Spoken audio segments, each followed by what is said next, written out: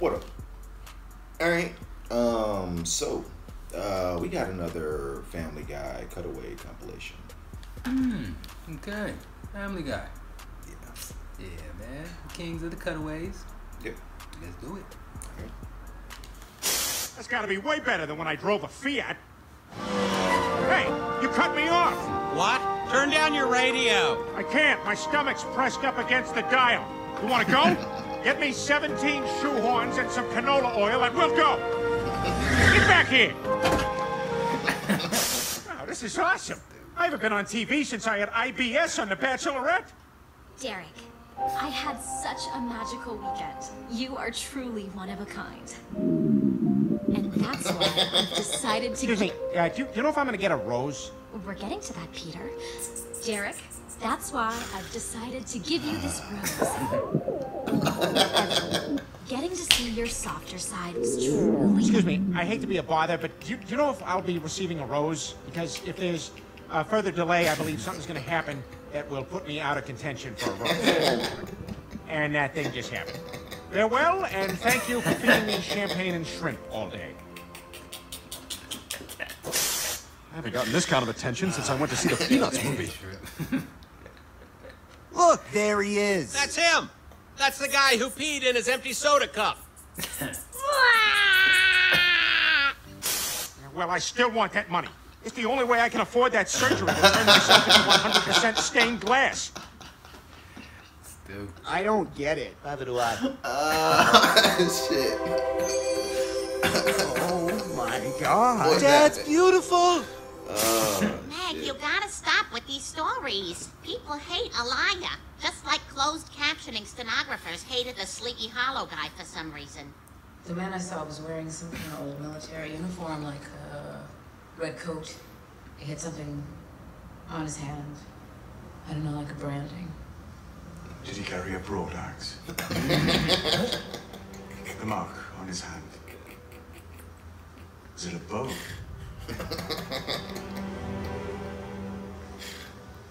How do you know that? hey, who is he? When's the last time you saw him? When I cut off his head. If we can charm her, we'll be set for life. No more scraping and scavenging like a laughing hyena. I don't sound desperate, but I'm very desperate. I'm not a very capable predator. My family's back at the den waiting for me. I think this is the day I starve to death. Just kidding, I have no family. but I'm a very involved uncle. Mine is a 70s funk musical about William Howard Taft. Who's the big fat president whose suits look like a flannel circus tent? Right on. Who's that presidential chub got stuck in the White House tub? William Howard Taft.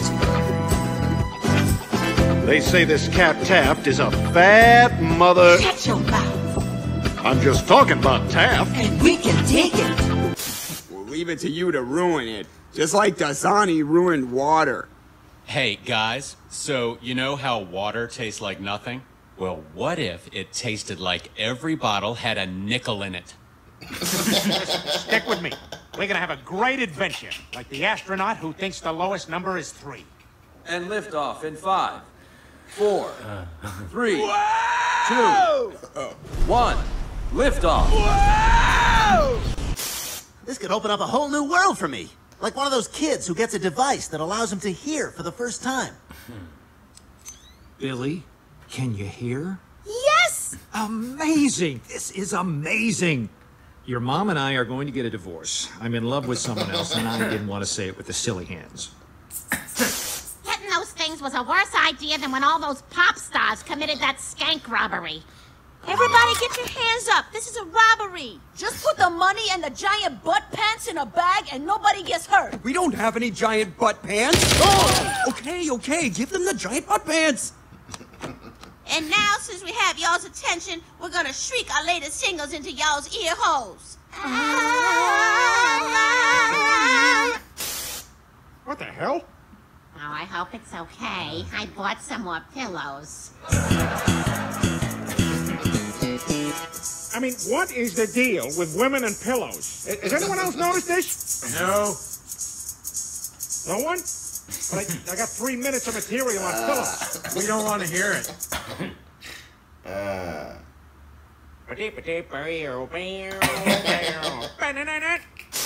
I tell you, this sucks worse than being a monkey at Coachella. Dude, it sucks this year. There's no good bands. There's Bananarama. There's like one good band. We'll help you, Peter. But we're doing it Quagsberry rules. What's that? A woman, or in this case, a man, has to do anything I say, no questions asked. Anything, I promise. My dearest Lois, I've taken Quagmire's place as a Union soldier in the Civil War. Shortly after I arrived, oh, they amputated my leg. I dared them to, and it was a big mistake. the other guy in my tent is a wet, dead guy. Yours, Peter. I thought you guys would support me, like we all supported Joe on that road trip. Boy, I am stuffed. Oh, I forgot to mention, one of you guys has to be in charge of changing my diaper the whole trip. Why don't we all just switch off? Well, there will be other jobs for other people.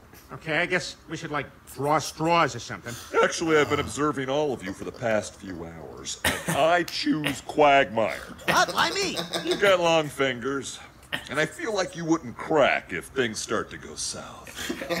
Fine. How do I know when it's time? Well, I'll turn to you very sincerely, and I'll look you right in your eyes, and I'll say, Quagmire, I've got poopies. now, Quagmire, I... You got poopies, I know. No, you're supposed to let me say it.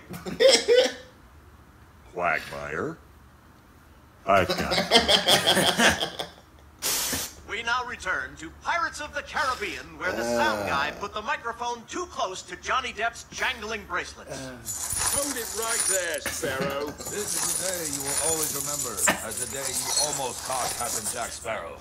What? I said, I've spent $65 million on vacation homes at Daytime Wild.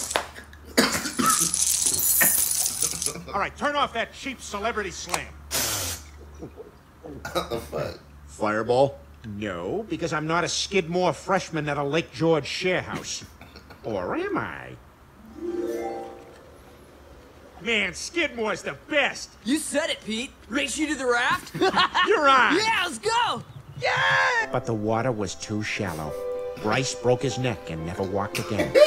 this put an end to off-campus drinking and lake house rentals. I was just fine. I landed on Bryce. Got the uh. right guy for that. I'm great at supporting people. On Mad Men, I was Christina Hendricks Bra. Joan, can you call a meeting of the partners? Help me!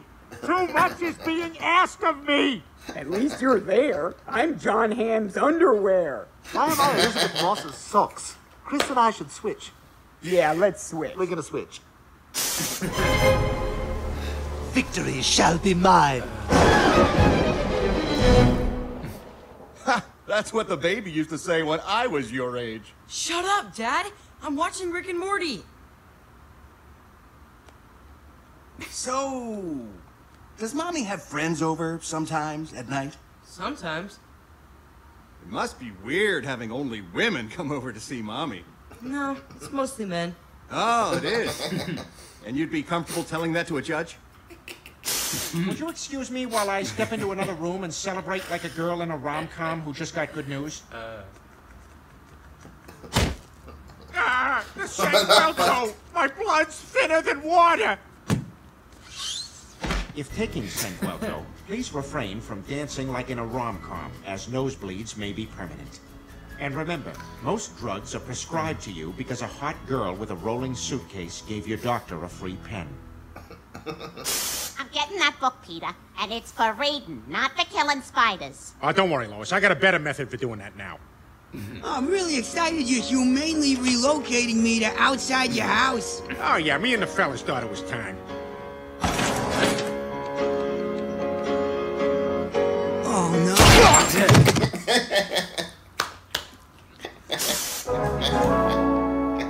Now return to the Talking Ah, Talking Dead, the show that talks it. about the show that talks about The Walking Dead. Okay, so what do we think about what they thought about stuff? It was awesome. Oh my god, it was so great how they thought that other show was so great. Yeah, totally. And that one part of the show where the guy was talking about that one part of the other show and how he didn't see that coming, I did not see that coming. this is just too much to process. I need an after show after this after show just to know what I just saw about what I just saw about what I just saw. I knew that fat man couldn't keep this up. He always buckles under pressure. Yeah, you're right. Like at that Billy Joel concert.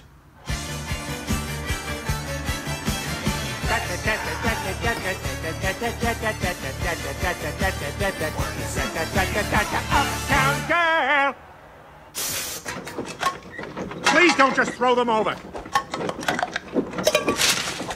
Well, at least make sure all the liquids are gone, please, before you throw them. Smithers, who is that Oh, young shit. go-getter? That's a character from another show, sir. Simpson, you say? Pretty much, sir.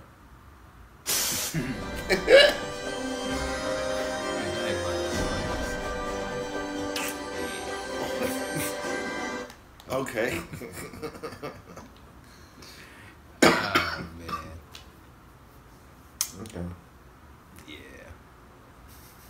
Yeah. Brian was, um, well, no, they didn't think Brian was Snoopy. No, right. this nigga went to the Peanuts movie. he said, he just got it peed in the soda can. thought they was gonna say he was Snoopy. Oh, man. Brian like Snoopy, though. he did.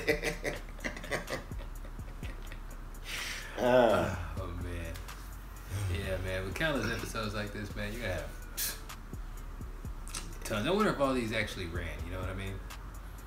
I honestly, I only remember like a couple of these. Like all of these are new to me.